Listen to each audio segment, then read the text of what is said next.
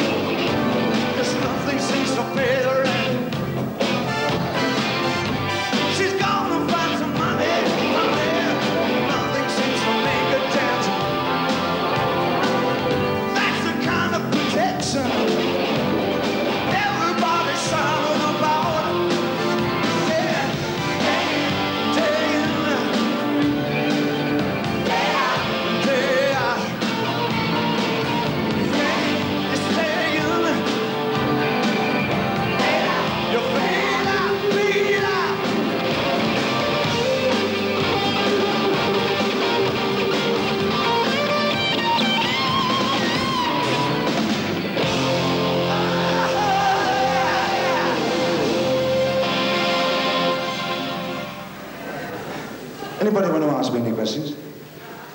Yeah. Look at the camera. This is a rhetorical question, I think. The new film plans for next year are, other than the Mick Jagger movie, um, I have ideas on maybe directing my first next year. But it will be a small film, not a big film. Uh, love story, when teenagers. Uh, but I won't tell you anymore. I can't find a part in it for myself, unfortunately. Nou, jullie hebben het net gezien uh, en ook gehoord. Op 30 mei treedt David Bowie op in uh, Rotterdam. Dat was een stukje van de persconferentie. Wonder boven wonder. Here we are, David. Hello. That was a great idea, that uh, press conference, the way... Yeah, it was a lot better than doing it. I, I did it once before for Serious Moonlight in London. Mm -hmm. And I did it with just a sheet of dates, you know, and it felt so formal and strict.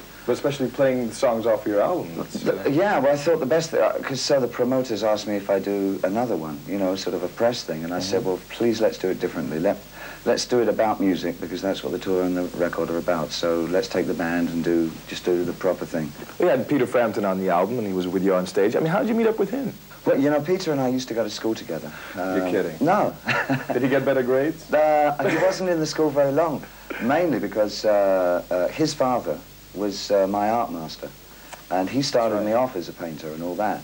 Um, but Peter, he had the usual problems when your father's in the, s- the teacher in the same school and all that. I know what you so mean, So it was yeah. a few months and, and he only, and then he left for another school. But during that time, when he was at the same school as myself, um, pe- uh, people like me who were the arty ones used to have what we call the art block. There was the engineering block and the Right. languages block and all that, and we were siphoned off to the art block because we were all sort of wanted to be Van Gogh, whatever. And uh, you go to art school with a portfolio in one arm and a guitar in the other, Right, and see, see which one do? you were better at. You know? right, right. You've changed styles quite a lot. This to me comes across as uh, that you you don't want to be bored by but by just being one person in life. It it wasn't really like that, you know. I mean, it really was a question of when I first began, I found it difficult for me. I am actually a very shy kind of person. And I really found it difficult to sing my own songs on stage and feel that I was doing them properly.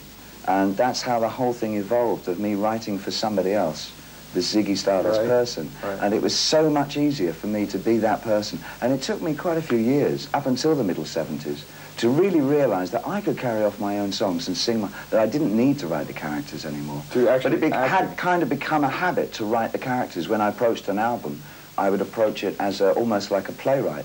We're gonna ask a question about about Joey, Yeah. formerly Zowie, right? Yeah. He, is it hard to raise a 15-year-old boy um, being a hardworking, quote unquote, single parent? Uh, do you know, I've been really, really careful about working things out so that every holiday he has, I'm not working too intensely. So there's always a period when he's on holiday, he spends the entire thing, he doesn't have to worry that I'm going to suddenly disappear or whatever. And uh, I've never, uh, uh, touch wood, but we've never had any problem keeping together during the holidays. And I, of course, keep um, almost weekly contacts with him at school, Yeah. writing or, or uh, telephoning or whatever. And he enjoys his school very much, and he has very good friends, and very solid friends. Important. Yeah, and we have a terrific relationship. It does go back now to 77, uh, where we really started to get to know each other. Good. And it's, great. yeah, okay, I can understand. You know, I, I was wondering, you have a photo album at home? I'm sure you have Oh, yeah, several. sure. I mean, I I'm can, like any other father, you know. Uh, right, I, I can imagine Joey going through the photo album saying, gee, Dad, I loved you in the dress. Oh, absolutely. and, oh, yeah, he's seen a lot, man. I, and he thinks it's. Uh, I mean, some of it's hysterical. I mean, when I, see, I mean, if he wants to get a Mohican Uh-huh. or dye it red or something, what can I say? Nothing at all. That's exactly what happened. David Bowie's China Girl, and we'll talk about Paradiso in just a second. Yeah.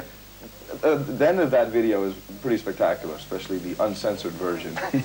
you, you, don't you ever think about beaches and the sea? I, I know that you've walked on Dutch beaches, Bali, Yeah, for instance. yeah. Well, you know, I, I must, I got to own up to the fact that until last summer, I couldn't swim. Never swum a stroke Really? in my life. And last year, it was the final year that I was going to go on holiday with Joe and not be able to swim with him because he's a real good swimmer. Mm-hmm. And so I got myself a trainer and I learned to swim. So it's possible. this was before I thought, before I reach 40, I'm going to know how to swim. And And, so made I learned how to swim. Yeah, it's possible. Anybody who can't swim, it re- you can do it at 39. You heard it from him this first. possible. and then this year, no, and then last year also, because of Julian uh, Temple and absolutely, I had to learn to tap dance. so I learned to tap dance and swim last year. This year I learned to roller skate. That's right So- in the video, David. Yeah, so every year I'm learning something new. What are, what are your plans for next year then? Oh, uh, parachuting. Uh-oh. uh-oh. sounds, sounds like a lot of fun. I don't know. I, I, I did want a I always wanted a parachute. Well, uh, I'll stand at the bottom and I'll, I'll wait for you to come down. Um, about your tour, Yeah. you're not letting, you know, not letting much, you're No. not telling much about what's going to happen on stage. No, I can tell you a bit about the background in a way, is that it's something, it's not just a collection of songs, but in as much as I've been writing the thing for the last two months. So it actually does have a dramatic skeletal form at the moment, but that'll be fleshed out during the rehearsal process because that's almost going to be like improv workshop. It won't just be the six-piece band with me. There'll be other people as well. Yeah, any any names I'd not say anything. That's as far as I, I'll tell you what's happening. But uh, it's it's um, it'll a lot of it will come out of uh, workshop improv, which is going to be very exciting indeed. I can understand that. The theme of uh, day in, day out about uh, the homeless in Los Angeles. I mean, you haven't lived in L.A. for, for a few years. How, how'd you come up with, with that idea? Well, the song itself was written in Europe, watching media focusing on what's happening to underprivileged and homeless uh, in uh, those particular large towns in London, Europe, and somewhat the Americas. But until I got to LA, I hadn't realized how uh, prolific it was in Los Angeles itself. I mean, it's, it's incredible ghetto land there. And there really are hundreds and, and thousands in some areas that are sleeping on the streets over California, Right. generally, and in Los Angeles particularly. So you used homeless actors for the video. Some of them are actors and some of them are homeless actors, Homeless, as you say, yeah, exactly right. that. And some of them were just homeless people. Mm-hmm. And uh, they were wonderful and they said they'd love to work on the video with us. That's great. So we had them work. And the police in the video, also that's the Los The Angeles real police. LAPD. Real LA police. Great. And the thing they use at the end where they push through the buildings is, Yeah. is their machine. It's called a, uh, what, now what kind of, a, a uh, an emergency rescue vehicle. Looks like something nasty to me. It's an emergency rescue vehicle, and it's Right. built for pushing indoors and, and windows. That's specifically what it's built for. And uh, on the end of it, they put this sign, "Have a nice day." Yeah, right. So that's what That's goes through. And I video, said, you know, this is uh, this is going on, on video. You know, it'll be on television. And they said, "Oh, that's fine." It's, Yeah, we like that. it's a funny joke, you know. And so Uh, right. we left it on. Um, we're going to take a look at uh, the day in, day out video. Yeah. I think a little, little bit of the press conference mixed in there. The Oh, great. on stage. Okay. You had two versions, the fuck and the luck version. Yeah. I mean, Which one do you play over here? what, what do you want us to play? I, I will, I, you know something, I honestly don't mind which, because I don't think that that's anything to censor anyway. I think it's the subject matter of the tape which is the important thing, and for me, one letter, whether it's fuck or luck, makes no odds. Okay, we're going to take a look at the fuck version then. David? Oh, okay. Okay. and here's David Bowie, day in, day out. Thank you very much. Thank you very much. Ah, wat een goede gozer. David Bowie zag je heel even in Nederland en daar met Day in, Day out, althans de clip ervan.